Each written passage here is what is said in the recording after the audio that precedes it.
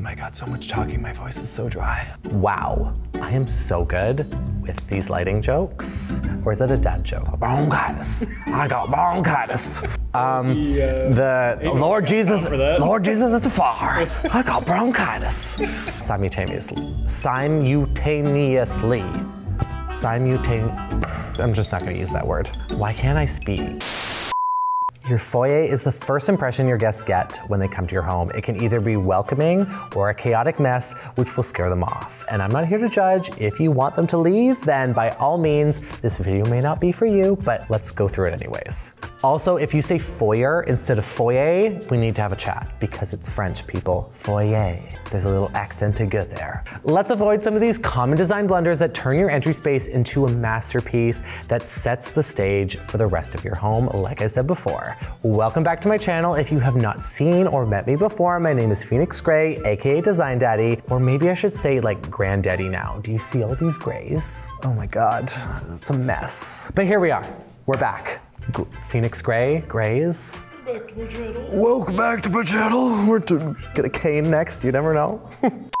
Make sure you follow me on Instagram and TikTok at Mr. Phoenix Grey where you could see all my daily design advice. You can also join my free design newsletter in the description box below where I answer all the most commonly asked interior design questions. And subscribe to my OnlyFans. Actually, no, we don't have that. Don't, I don't have that. I swear I don't have it. the first mistake that I often see is people turning their foyers into a dumping ground for their shoes, bags, and even their mail. A cluttered entrance can instantly kill the wow factor and it overwhelms the space. It really masks the potential beauty of the area itself. Organization here is the first key above anything else, and this is where we need to start to get you into the rest of the design. Consider integrating stylish storage solutions that can not only hide the clutter, but add to the overall aesthetic that you want to achieve. Wall-mounted hooks for your coats and bags, a chic console table with neatly arranged baskets, hideaway trays, or even a sleek shoe cabinet can work wonders in the overall design. By keeping these things organized, you create an inviting ambience while maintaining a functional design statement. For the second one, now that we're getting into the design, let's talk about your foyer flooring. And this is an absolute game changer. Trust me on this one. One of the biggest mistakes is often overlooked and settling for a really mundane flooring choice that doesn't make a really nice impression or choosing the same flooring throughout the house continued into the entrance. This isn't necessarily a bad thing, but it is such a missed opportunity. Opting for a flooring material that can really scream wow is such a beautiful and unexpected thing to have in a foyer. A pattern tile, a luxurious marble, or even a geometric hardwood design can really instantly captivate anyone stepping in through the door. Most people that enter your home are looking down when it comes to actually taking off their shoes, and this is the first thing they see. So this is where you're going to make an impact. Your flooring is the canvas, and a bold choice here can really set the stage for your entire house, making a lasting impression that your guests won't soon forget. Listen, I know those super fun mosaic tiles and patterns can be expensive, but the best part is, is that this is such a small square footage in the overall grand scheme of your home that it's not going to cost as much as you think, and it is always worth it to set aside budget for this. This is one of the first things that I notice when I enter a home, and in all my projects I work on, I always encourage having a budget to make an impact here, a really beautiful foyer floor. Lighting isn't just about functionality, it's also about creating the right mood. Unfortunately, many foyers really suffer from inadequate lighting or overly harsh lighting, leaving your guests with a really underwhelming first impression, and really makes the space look either too bright or way too dark. The last thing you want is to have to turn on your phone flashlight just to find your shoes or your keys in your own house. Embrace a layered lighting approach. You're going to be sick of me because I've probably said this five times already. I'm never going to stop saying it because it is so crucial in designing a space to be welcoming and beautiful. Layered lighting can be applied to all your rooms, but specifically your foyer, you're gonna do something a little bit different. With ambient lighting, it's like a tasteful pendant light or even a statement chandelier that sets the overall tone. Task lighting, such as a stylus table lamp or even a console table, really adds that level of functionality. And don't forget accent lighting. Think about wall sconces or even recessed lights to highlight architectural features or even artwork. By combining these three elements, you really cast your foyer in the best light possible. Wow. I am so good with these lighting jokes. Or is that a dad joke? I guess it's kind of both. Anyways, I'd like to think I'm pretty good at it. If you have the option to change the electrical, I will always recommend bringing in wall sconces around a mirror to really give you and your guests the most flattering view of yourself before heading out the door. Lighting is also a really great opportunity to have something that is more playful and artistic in terms of fixtures. Another interesting feature to have is a unique pendant or even a chandelier that draws your eyes upwards. This helps visually extend the look of your room, making it appear taller and larger. I get it, we don't have all that much room, but even if it's a small table lamp that you can fit here, it's going to make the world of a difference. And bonus points, if you get a remote plug, you can set it on a timer and anytime it's on or off, it's needed when it's there because I get it. If you have a plug-in light, not everyone actually uses it because that switch is buried. It is buried behind everything else and no one wants to go looking for it. For fourth on your list, mirrors are a secret weapon in your foyer design that often go unutilized. And let me preface, neglecting mirrors really means missing out on a fantastic opportunity to really amplify your space and your light. And I'm not talking about those boring square and rectangular mirrors. This is your time to really shine, something that's fun and unique to space to really shake it up. Don't be afraid of shapes here. There are so many unique mirrors out there that really have a sculptural and artistic flair to them to let your personality shine throughout your space. This is the perfect opportunity because there are so many options out there that are actually quite affordable. A well-placed mirror can really illustrate the illusion of a larger space and bounce light around, instantly brightening up the area that is good for any room. Fun mirrors can really infuse that touch of glamour and practicality into your space. And if we're really being honest here, we're playing into that deep, dark sense of vanity that we all have. So go ahead and take a second look at yourself before you go out. We're all doing that, right? Or maybe that's just me. Please don't tell me I'm alone here. You like you got to look at yourself before you go out the door, right? Let me know.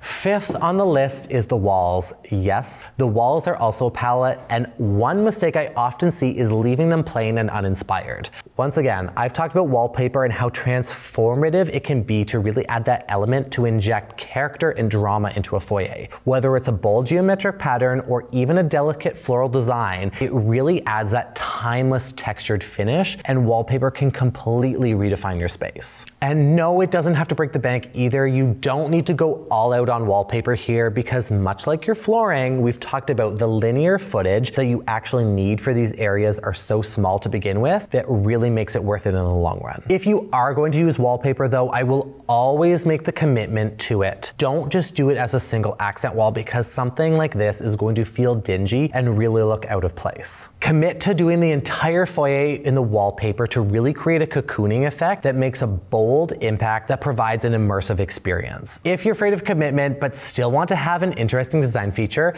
try using the wallpaper just on the ceiling. I guarantee anyone is going to notice it and comment on how good it looks. It instantly adds a level of luxury and can really make your space look bigger as well with that same visual connection of drawing your eyes upwards. Another aspect to consider is the comfort in your foyer in the overall design. Many of us forget that this is a space where we put on and take off our shoes that can quickly become an uncomfortable chore without proper seating. Introducing a small bench or an ottoman not only adds a touch of elegance to your foyer, but also addresses the practical need for comfort. It's a thoughtful gesture for you and your guests making shoe changing a breeze. Choosing a design that complements your foyer style while ensuring it's comfortable and functional. And for a bonus, there are ottomans out there that even double as storage. So if you are lacking space, this is an absolute game changer that you are not going to be ever disappointed in. This is another really big thing that I notice in foyers is if the space actually has a place for you to take your shoes off. I don't know about you, but I'm 6'4 and having to go all the way down to take my shoes off while standing is a journey to say the least. And everyone over the age of 25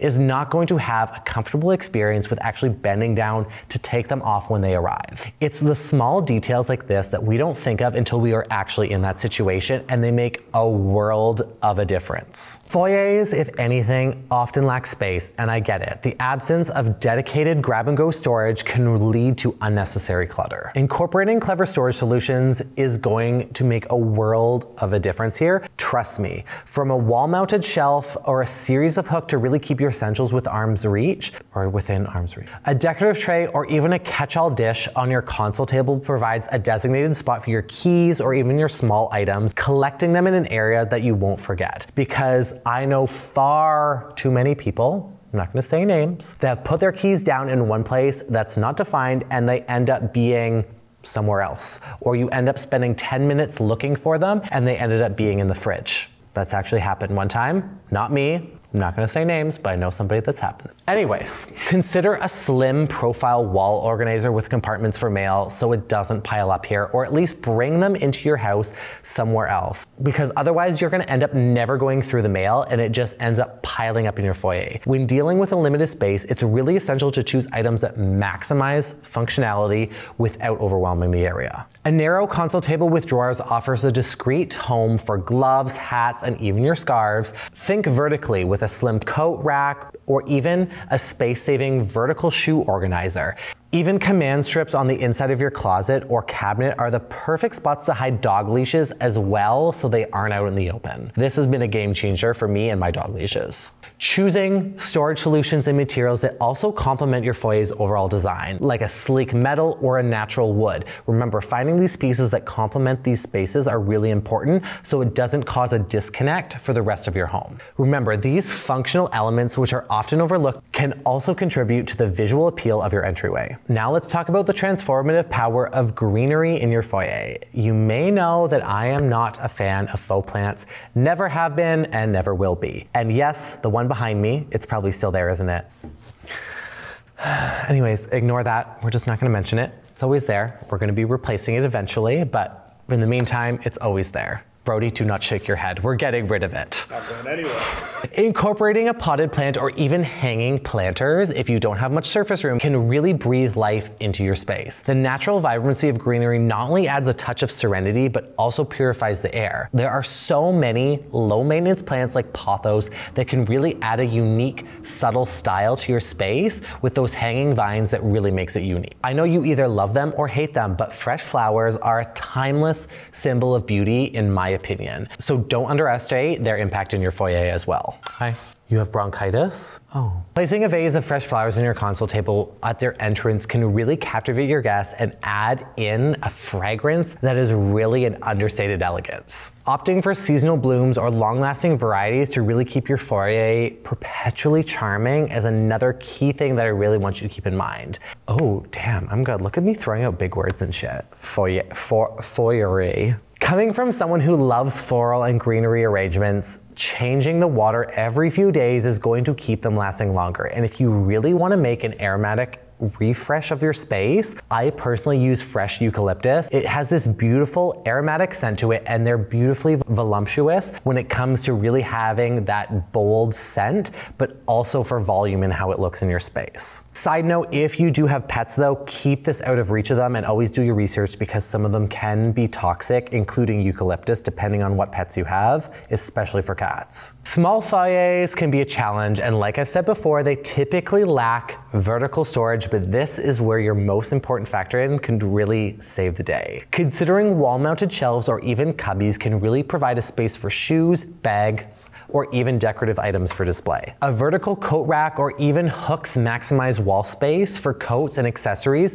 leaving your foyer clutter-free. Vertical storage isn't just about function. It also can be visually captivating in the way that it's designed and set up. Drawing your eyes up in a small space, like I said before, can really expand it, so get creative by choosing storage unit that double as artwork even as well. Floating shelves could also hold decorative items, creating an eye-catching display, and vertical plant stands can also introduce greenery and style simultaneously. Simultaneously. Simultaneously.